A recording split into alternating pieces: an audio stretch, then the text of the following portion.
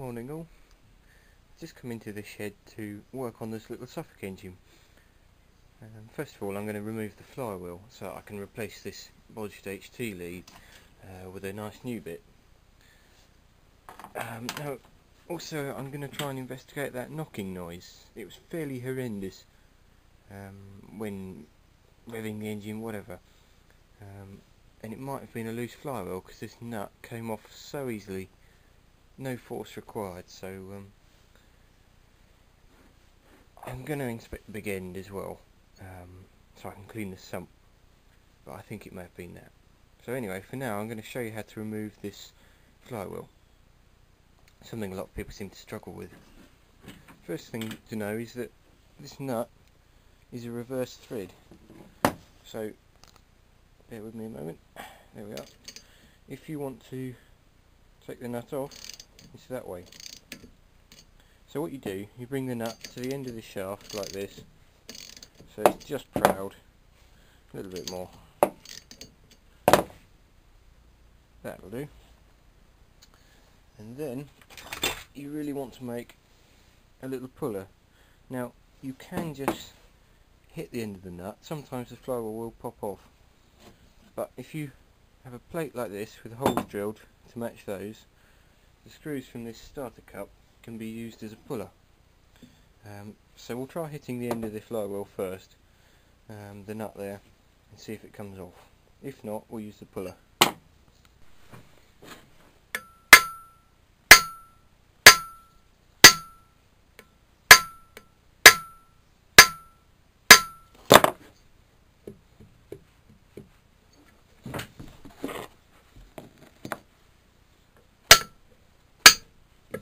There we go.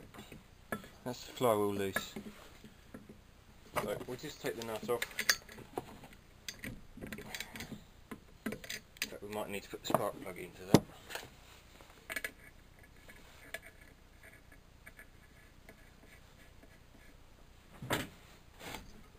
And of course the flywheel's keyed on the shaft, so actually you can wedge something in there and that should should allow us to there we go.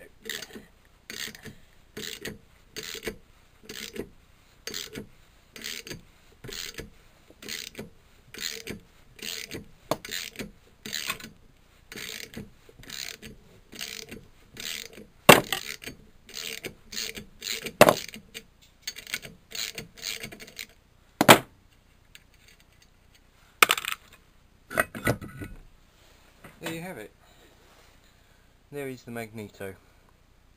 So I hope that helps some people. Um, shows it shouldn't shouldn't be difficult to remove the flywheel. Well here's the magneto on the engine. So I just thought I'd tell you a little bit about how these work. So, or rather point out some of the different parts. This on top here, this is the coil. There's thousands and thousands of little copper windings in there and that takes the voltage up. That's the condenser that protects the points here, stops them burning out from sparks across the points. Now the points move in and out like this. In fact, I'll have to turn the engine over to show you. On the shaft there, there's a cam, so there we go. So that's the points closed, that sort of rest position. When the spark is needed, the points break, and the spark occurs at the moment the points break. So if, if you're struggling to get one of these engines going, just clean the points and generally they will go. This up here is the HT lead, carries the spark to the plug. Now I haven't been able to replace this lead because it means removing the coil and I think it's a sealed unit so probably can't do that. So I'm going to try just putting this through the inside of the cowling because then it will just reach so hopefully it won't melt. but we'll see what happens. Okay, well we got the flywheel back on now, and uh, remember to tighten these, it's anti-clockwise. The thing you should always do when you put this on is make sure there's no oil on the shaft. In this case there was, so I spent a while cleaning that. White spirit is superb to get rid of it. Um, the shaft is keyed, but uh, it's just an extra safety precaution really. Um, I tightened the nut up as much as I can with the ratchet and then give it a little you know tighten up much as possible by hand and then give it a tap with a hammer and it really won't come undone then. But don't overdo it. They're not that strong.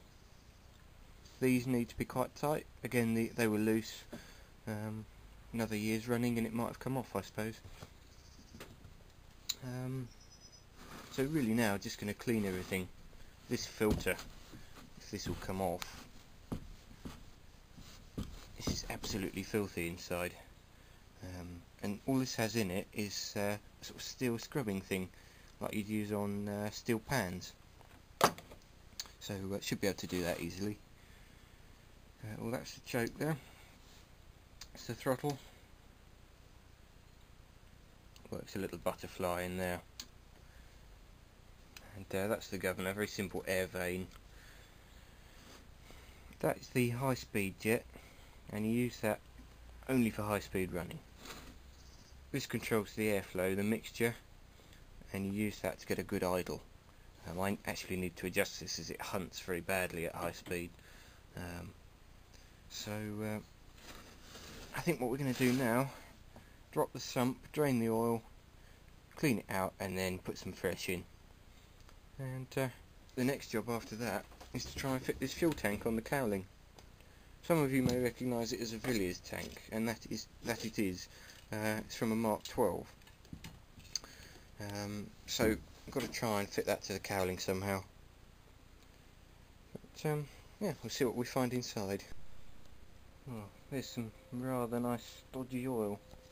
So uh, I think that is in time time for a change. It's a bit thin as well. Not the worst I've seen. I think this has probably been serviced a few times in its life me get the torch. It, uh, doesn't look bad in there. That's the dipstick down the bottom there. Crank.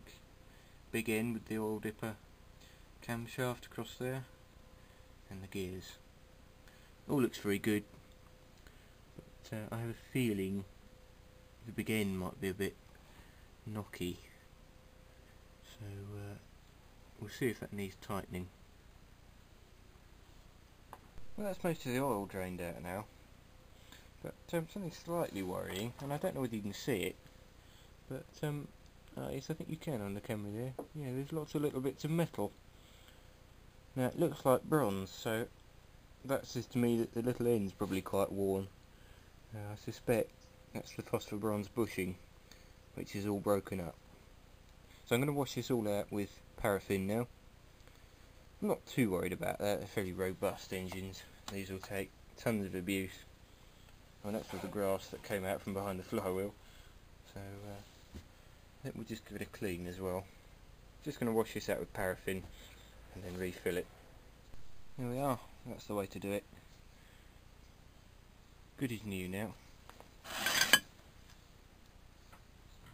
So uh, all I did, drain the oil out, put a bit of paraffin in drain that and then wipe it around with a rag. It comes up really clean gets all the dirt out. Well, there we are some fresh oil in it now. And uh, you can actually see the bottom of the sump now. Now what I've used is this Comma Classic SAE30 non-detergent oil. Perfect for these sort of engines.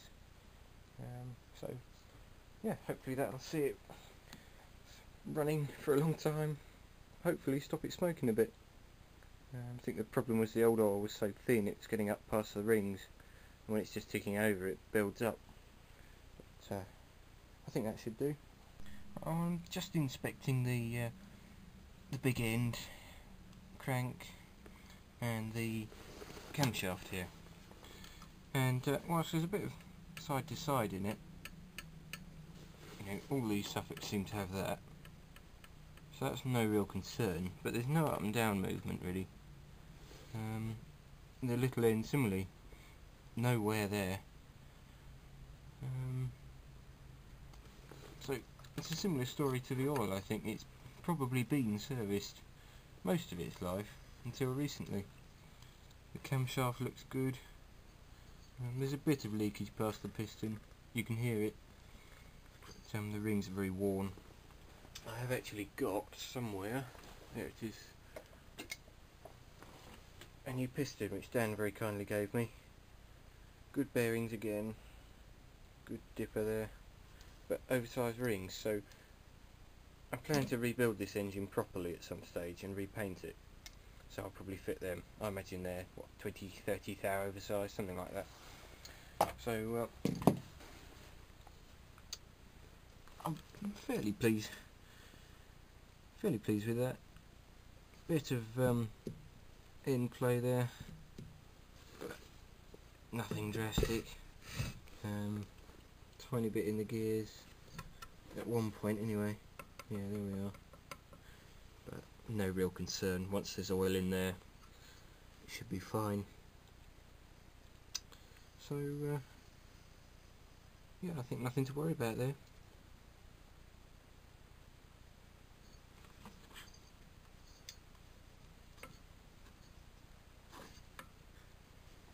So there you go. Again, only cost a tenner, so I don't think that's bad at all you can't beat these little Suffolks. I think where all the other manufacturers went wrong, they just made their engines too complicated. Um, like the Villiers Mark 12 I had, it was just a pain in the backside. Had a much more complicated magneto, um, and it had a, a proper enclosed governor with flyweights. Well, it was always hunting, and you couldn't get the speed down. Um, so, simple engines like this is the way to go. Just trying a little trick an old trick which you can sometimes get tap corks uh, useful again. Sorry about the camera lens steaming up. The camera's been outside so it's cold. Um, but you can just see the tap in there and they have a cork on the end this is from those Ewarts, Ewarts, whatever they're called taps the little brass ones with the pull push button and of course the cork shrinks and dries out. So uh, when this gets up to boiling it should bring the cork back. So fingers crossed. Well here's the tap and its cork and you can see quite clearly that the tap has expanded, um, the cork rather. It's now bigger than the shaft there so it should be a tight fit in this tap. Excuse me a minute, it's quite difficult doing this with one hand. There we go. Tight fit. Whereas before it was like this. Very loose. So uh, yeah I think we can call that a result. In fact I can't even pull it out with one hand now so that should do I've also been adapting the fuel tank here. I cut the uh, some of the brackets off to leave these two. And that should allow me to mount it like that on the engine on the back. And it should go on over the cowling as well. Fuel fuel line will have to go round under the exhaust. Not brilliant but you know, should be okay. As long as it's not leaking I mean in the old days sometimes they used to wrap the fuel line around the exhaust to preheat the fuel more the case on paraffin engines but nonetheless they still started on petrol so uh, yeah, going to crack on with this and try try and get it running now.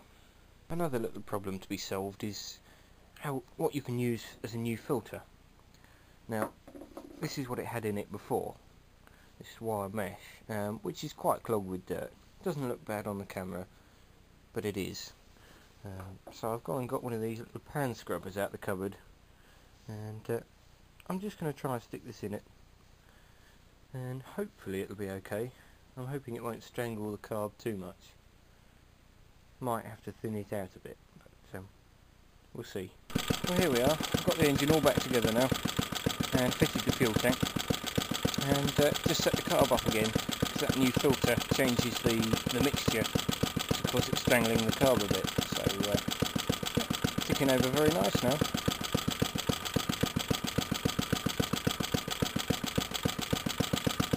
Obviously it all needs repainting, but uh, all in good time.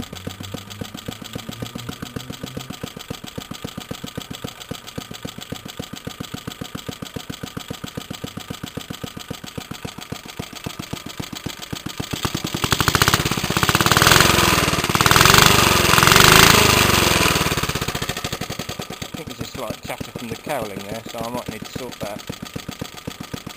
The knocking that was happening before was actually a loose flywheel, so I'm glad I checked that.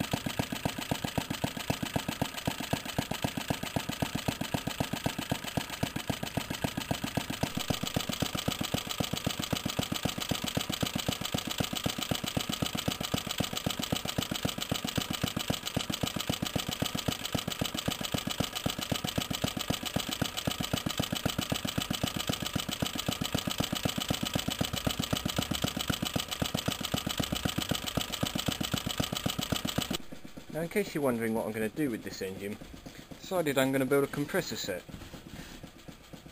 So I'm going to use this old 1920s refrigerant compressor I've got, which is really really good.